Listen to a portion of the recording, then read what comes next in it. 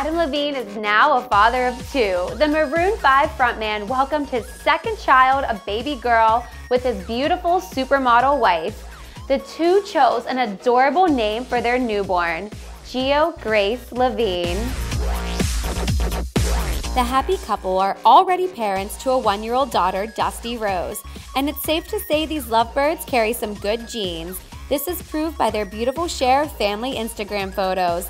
Leading up to Gio's arrival, Levine and Prinsloo seem to have a lot of fun showcasing the model's pregnancy journey. Congrats to these picture perfect parents. We are sure their hands will be full with the two bundles of joy.